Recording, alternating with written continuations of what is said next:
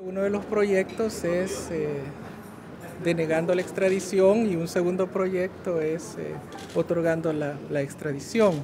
La Corte en pleno no se inclina a repetir las pasadas resoluciones que denegaron la solicitud de extraditar a los militares implicados en la masacre de los sacerdotes jesuitas. Así lo aseguró Martín Rogel Cepeda, quien sustituyó al presidente de la Corte Suprema de Justicia en la última discusión sobre el caso, donde la no extradición solo obtuvo dos votos de un total de 15. Esa propuesta era simplemente votar como se votó en el 2002. Sin embargo, este aspecto ya era un aspecto superado que debió haberse resuelto al inicio si esa iba a ser la, la decisión.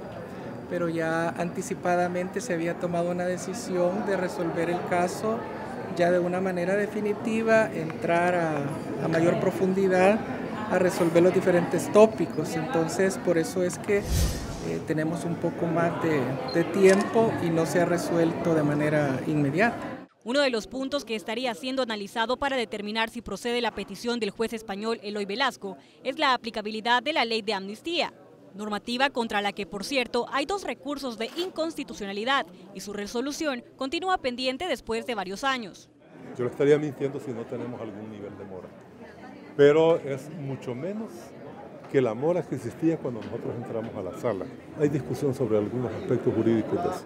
Otro polémico caso atendido por la Sala de lo Constitucional es la invalidación de los nombramientos de los tres magistrados de la Corte de Cuentas de la República, quienes deberían ser reemplazados a más tardar el final de este mes. Y aunque ese plazo fue impuesto por quienes emitieron el fallo, están conscientes de que no será suficiente para los diputados de la Asamblea Legislativa. Ya llevan 10 meses en el CNJ y tampoco son suficientes.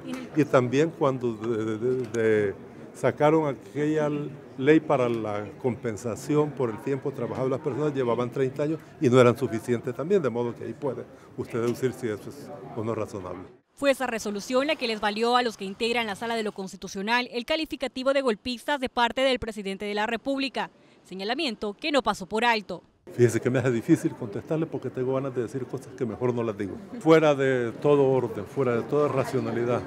Yo desde la vez pasada dije de que un verdadero estadista, un presidente de la República tendría que ser pues una persona prudente, moderada y discreta, y no veo esas características en nuestro actual presidente. Muchas veces se critica, pues, y tal vez el, lo que es, creo que no está bien a veces son los, los calificativos que se hacen, ¿verdad? Pero bueno, cada quien tiene, eh, un país democrático y pues cada quien hace su propia valoración. Para el noticiero, Adriana González.